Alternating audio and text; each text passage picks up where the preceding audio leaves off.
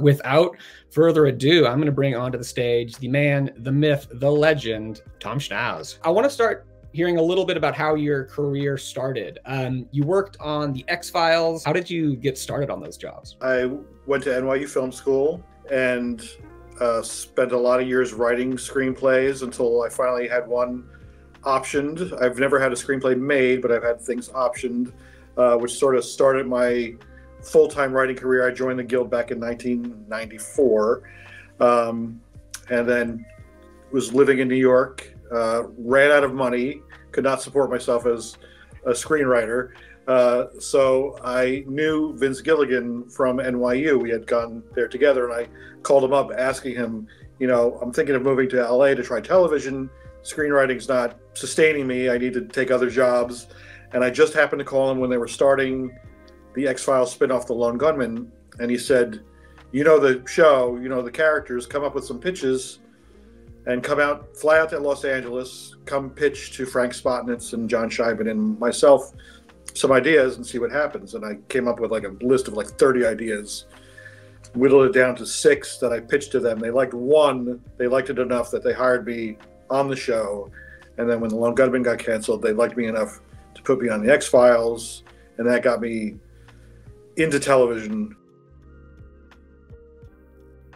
Do you remember your first writer's room? So when you were on The Lone Gunmen and then The X Files, what did you learn in those early rooms that have you know stuck with you and served you throughout your career? Yeah, I mean, early on, I was listening to the voice of the showrunner. They'll pitch dialogue and just sort of pitch in the voices of different characters. And I remember listening very closely to how things were pitched and how they spoke in the characters' voices and carrying that onto the page and uh, getting a better response when I was sort of mirroring what was being pitched in the room as opposed to trying to reinvent something. So it was just listening to the voice of your of your showrunner and uh, putting that on the page. What have been the biggest changes in sort of the TV writing landscape since you started? I mean, obviously, one of those is sort of the end of the DVD era and moving into the, the streaming era. I mean, the biggest one is the amount of episodes because I sort of got in at the tail end of, oh, we're doing 24 episodes in a season. I, I, I lived it. I was there for it. I cannot remember for the life of me remember how it was done. Now the thought of doing eight episodes is exhausting to me because I'm just old now. Back in the day, I was like, yeah, we're doing 24 episodes, guys. Let's do it. Roll up your sleeves. We're going to work weekends. We're going to work you know, insane hours. The beauty of Breaking Bad is that, you know, 13 episodes or, or eight episodes, you really got to work hard about making every episode as good as we could be. Whereas in a 24 episode season, you're just going to have some stinkers. It's just it's impossible to keep up that kind of quality of work across the board. I mean, the actors get exhausted, the crew gets exhausted. Mm-hmm. When you were making those episodes that were stinkers, like did did you guys know that in the room? Was there just like the sense like this is not going to be a good one? I don't think. No, I think you try your best on every one, and then just time runs out, and you use like we we have a, a date we have to meet a mark. Whereas I think on the on Breaking Bad and, and Saul, we would go forward and we plot. We'd probably get seven or eight episodes broken uh, before shooting would, and that way, if something felt wrong, we could go back and change it and make things right. Whereas in a, a, regular TV production schedule, you write it, it's it's off to the races. They're they're producing it, they're making it, they're shooting it. You're you're only an episode or two ahead of of what they're mm-hmm. shooting, and it's more chaotic. So you're just trying your best just to stay ahead. I want to go through the whole process of talking about breaking story from the start of a new season. But first, I just want to show a picture. And this is kind of one of the things that you guys have become known for, what are we looking at right now? This is a, a, a storyboard for an episode that I wrote uh, called Bad Choice Road. And it is the work that all the writers in the writer's room did together, talking about every scene, every beat uh, of the story, and distilling it down to a card, just what the scene's about. And we overcarded. These, these Saul episodes are sort of. Uh, beyond what we did on the X Files, where the X Files was very specific, really distilling a scene down. This is we we suffer from what was called card creep, where things would get a little Uh, we put a little more detail in than we probably should have, but I think it was not a bad thing. Ultimately, is that the more detail we had as a group, the better the episode was. Yeah, I think um, this is you posted. These are X Files cards, so they're just like shorter. Yes. Um, on your Twitter in comparison to, um, if you look at these, yeah, if, you, I don't know how well you guys can see this on your computers, but there is a lot of cinematic detail in there, and I think that's what you were kind of were talking about, like in terms of overcarding. You were going beyond just the bones of the story. Um, yeah, we talk about opening opening shots. We put dialogue in sometimes, but I think like Act One that's probably three or four scenes uh, right there. Yeah. So, or on the X Files, it would only be a line of one line of cards. This is we have two lines of cards, and we probably had to stack some in order to fit all the cards. So what you saw there was all all my writing. Uh, I, I, think as when Vince left the room, I sort of took over the duty of being the uh, the sharpie wielder. I remember the the the card writing was just like very important. Like it, it was it was almost a ritualized thing. Yeah. It was uh, I mean the way Frank Spotnitz used to describe it, it is kind of a zen. It just helped you trying to fit what the scene is about onto a few cards really helped you focus on what is this scene about and is it important that it is in this story if it doesn't have a simple way to describe it and and why it leads from the previous scene you just wrote, then maybe you don't need it. And then the great thing about having it on cards as opposed to a whiteboard is that, oh man, maybe that's that beat would be later, great later in the episode, or maybe we put it early. It was very easy to to to move the puzzle around and see what the episode would look like in a different shape. So basically, we're talking about beats of a story, and I feel like I don't know. There's a lot of chatter. People have different definitions of like what a beat actually is. It's one of those terms that, depending on the screenwriter, can mean different things. What is your definition of a beat? It's either a plot moment or an emotional character turn, where a character, you know, what made this character go from happy to angry, or what the surprises. What what are they shocked by? What are they, what what didn't they see coming? Another thing we were big on is what does a character th- tell themselves that this moment is about, as opposed to what it's really about. What's the the driving what's the driving force that they don't understand. So we put that in a card is that we try to put what the subtext is and mm-hmm. and and also what the characters are are telling themselves this is really about. We had four boards dedicated to episodes.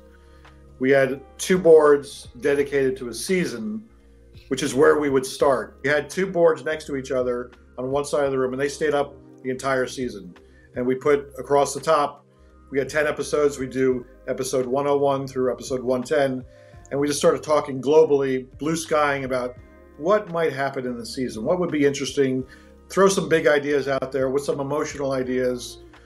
If we want to get Jimmy from here to here, like season one, we probably had written at the end of episode 110, he Saul Goodman. Jimmy, you know, we had the idea that Jimmy McGill was going to turn into Saul Goodman by episode 10. So we put a card up to say Jimmy is Saul Goodman, you know, Jimmy's brother, you know, beats about his brother, and just different big ideas. You know, Jimmy gets in a gunfight, whatever the, what do we, you know, what just fantasizing, what's a great big cool thing we'd want to see, and just sort of put that stuff up on the board and say, oh, maybe that would happen around episode one, two, three, whatever, and just sort of lay it up. By the end of a season, none of that would match what we did in a season. It was just to get our minds to sort of maybe maybe have a, a loose roadmap of where you want to go, and we do that for like a month. Are you thinking at all in that process um, of the season? The like the arc of the season. Are you thinking of it as like a three act structure or any kind of formal way of like we need a climb, we need rising action and, and a climax and a you know falling action?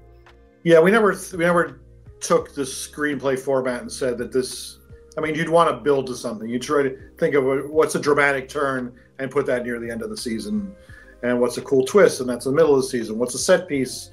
What's a great set piece? Whether it's a gunfight or a fight between the brothers or something, and and find a place for that. You just kind of feel it out as you're mm-hmm. all talking together. You sort of get a feel of where you want to start. What's the hurdle that Jimmy has to overcome here, and and sort of build to that. Who does he meet? Who does he know? and you'd come up with characters that never saw the light of day. Then you go back to uh, the first episode and hmm. start thinking, where do we want to start? What does our character need to accomplish? What is their what's in their way to accomplishing this? When you're talking about the the characters there, how do you get into the um, their their headspaces? Um, especially because you know they're drug manufacturers or you know very unique person you know circumstances very unique characters. How do you get in those headspaces? You start from where they are you think about what has happened before. If it's if you're just starting the series you build a backstory and and think about what led them to the point that you're starting at and what do they want? Where's their head at? That was always the question we'd ask for every character where's their head at what do they want and then you think about well if they want this then they have to do this um, but then another character wants X or Y or Z, and that might be in their way. You have to focus on the short term wants of the characters, and that's what we when we say the characters lead us to what where the story goes. That's how it happens because you're really just thinking, what do they want next, and what are they telling themselves the reason they want it, and what's the real reason. You know, Walt tells himself, I'm doing it for my family. I'm doing. I want to. I'm going to die. I want to leave my family all this money. While in reality, the storytellers are thinking, well, he's got some psychological issues of hasn't felt like he's been a man his whole life, and he's been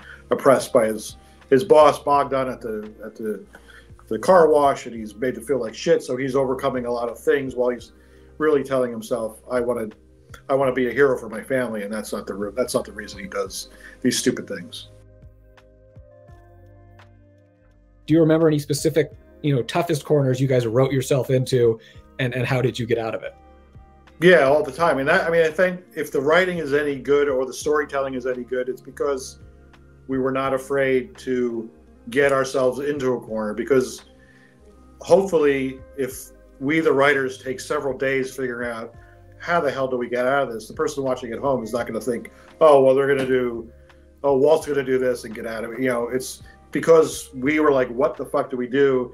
And Vince would bang his head against the wall or, you know, whatever, whatever, you know, we, or do we go back? Do we change everything? No, let's stick, let's figure out how to get, you know, the, the classic one is uh, my first season of Breaking Bad. We had Walt and Jesse in the RV and Hank rolls up and traps them. And we yeah. were like, how the fuck do they get out of this? And right now it seems, looking at the episode, it seems simple, but we had no idea. We were like, what?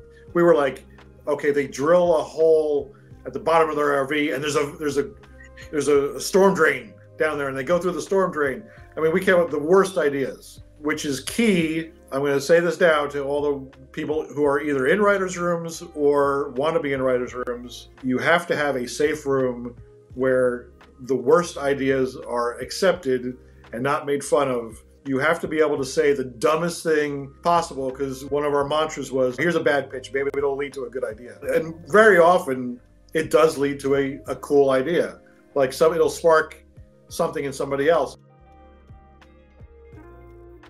How does an idea become a card? So the thing we did on the on the season board which was lay out some possible things we would do that on an individual board and we'd write up our teaser, act one through four, and then come up with some ideas about what what's a good starting point, what would we like to see, what's a good ending point, and kind of put those up in possible places of just to give us sort of a direction to go, and then we'd go back to the beginning and say, okay, we're starting here.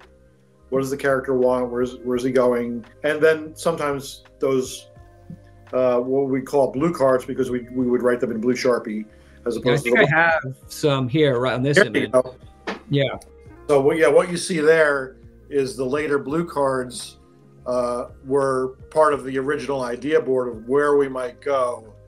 Um, so there used to be blue cards in Act One, but then when we got into the very specific, what are the scenes? That's when the black carding would start, and we'd go through and write it. So this is an example of a board where things didn't really change drastically from our wish list of things to happen um, but there's some there's some gaps in there, and and as you're writing, you get to like what needs to happen, what hasn't been, you know, just to make logical sense of to tell the story. What do we need to see? So it's figuring out when do we get into the scene, what don't we need to see, where do we want to end it? Like what's you always want to find uh, what's the latest you can get into the scene, what's the earliest you can get out of a scene, as you're th- mm-hmm. as you're talking about a scene.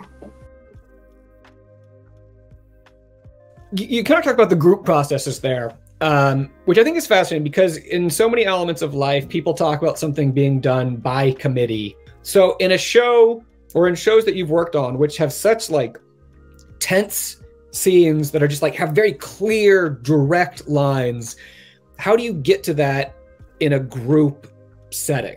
For whatever reason, the group, because it's a group of six or seven people pushing towards the same goal, it's not somebody I think the problem where the problem comes in is who's somebody who's not part of the process starts throwing in ideas like, oh, there should be a wormhole or whatever. like, wait, you don't understand what led us to get to yeah. this point of this character making decisions. It's like everybody's sort of rowing in the same direction. Where I think when things get dis- distilled with too many voice, you know, too many voices is when they're not part of the process that got you to the point you're at for this particular moment in the story. That's why when we shoot the scenes and have a writer on set and there's an actor reading it and the actor says, Why the fuck would I say this? What is this about? Mm-hmm. The writer has been there the whole time and says, Well, here's the thing. We, your the character wants this and has been from here, and you, you're there to help explain the process of why the character is doing the thing that they're doing and hopefully the actor goes, "Oh, I understand now." Which, yeah, I mean, also in the, in the in the in the room, that's also the importance of the showrunner, right? That like sort of their job is to keep everyone pointed towards yeah. the vision. Yeah.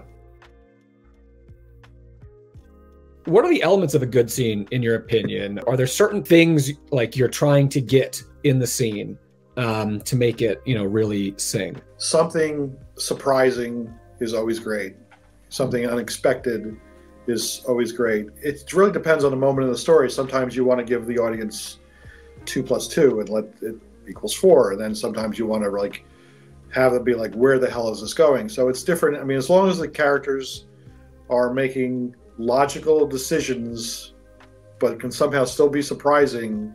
Um, again, if it's surprise, you know, it's the it's the whole thing of having a character tell themselves, I'm doing it because of this, but then there's some underlying psychological reason so that whatever weird thing they do still has to make sense on some level. Yeah, I mean, I would also say another aspect would be like you mentioned the characters, right? And like, what do they want? Are they trying to accomplish something in that scene? Are there stakes? What happens if they don't get it?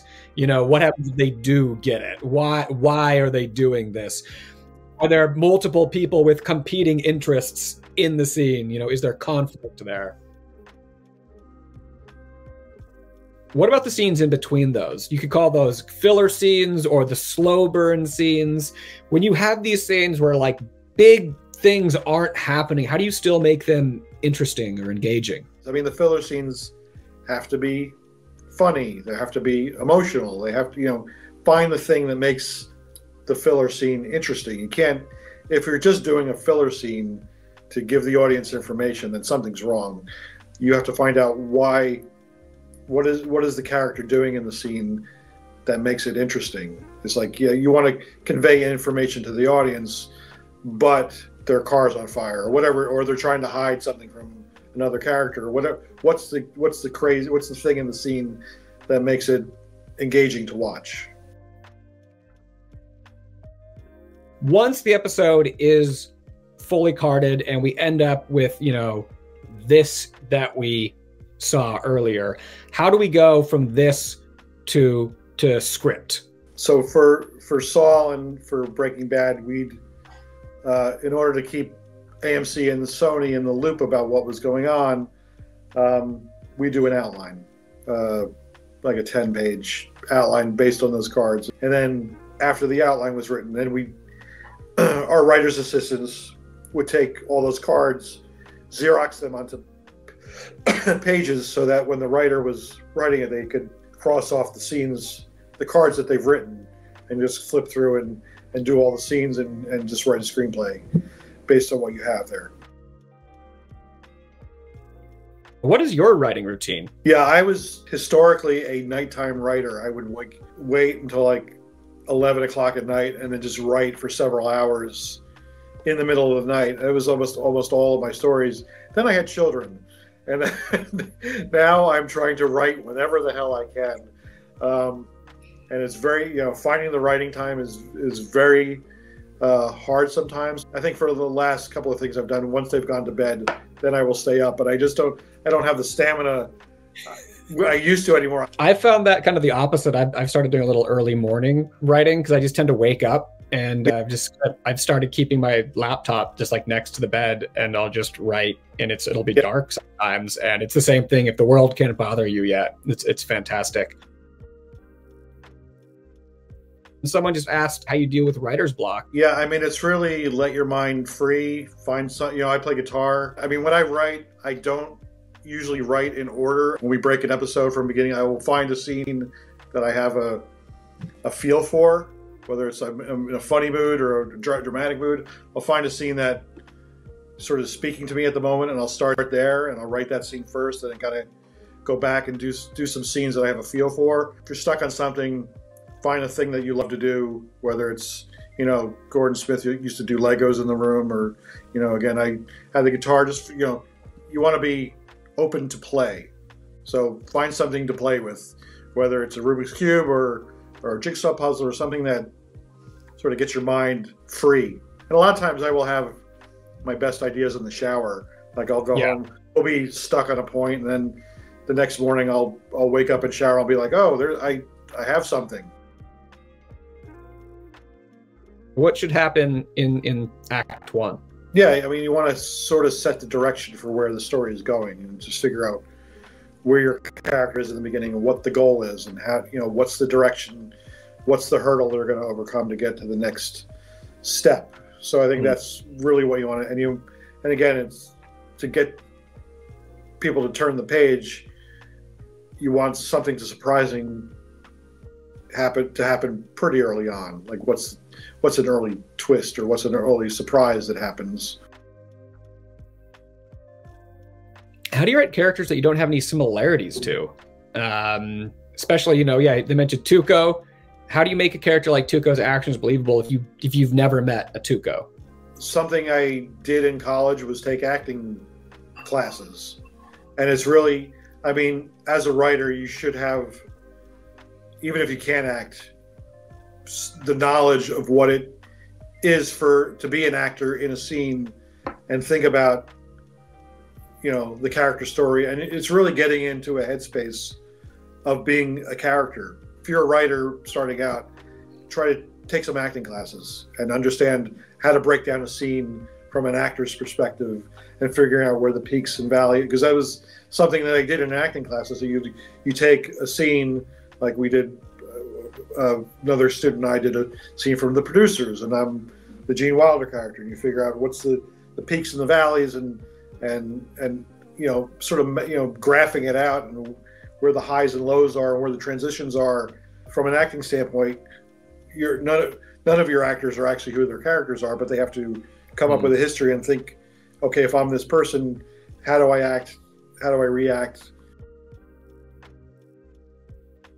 Uh, what are your influences? Are there any pieces of media that you would say have greatly influenced you? It that'll change daily. I mean, I will come up with so many different answers. The thing that really uh, probably got me wanting to be in television was the show SCTV because it I was like when I really first started looking at the credits of a TV show, like oh the actors are writing their own stuff, and they're really into making fun of television and really having this sharp take on it was like just so it was like man I wanted to, it was like something I wanted to be a part of. So many great movies in history. One Flew Over the Cuckoo's Nest is is my favorite film, and it's really something that I when I watched it really had an influence on me and really if I can point to that movie and, and point to scenes in, in Saul and say, oh, I ripped that off from from that. Uh, the Marx Brothers, all the crazy writings of uh, of uh, S.J. Perelman and all that, all the stuff that that led to making the Marx Brothers as crazy as they are. That I mean, there's probably I can probably sit here for 30 minutes and just talk about different things. I mean, I love like how many comedy things for a drama writer. Like how many. I mean, I think that, that's one of the my favorite things about. I think those shows, you know, Breaking Bad, Better Call is how funny they were, and I think a lot of shows get that wrong if they try to do a, something in the style of Breaking Bad. They forget about the humor. Um, yeah. Don't take yourself. I, don't take yourself too seriously, and really find like dark. I've always loved dark humor, um, and so any any kind of dark, anything that's dark and twisted, but can still make you laugh. I I love. Uh, Tom, do you want to leave any parting words of wisdom uh, to our audience?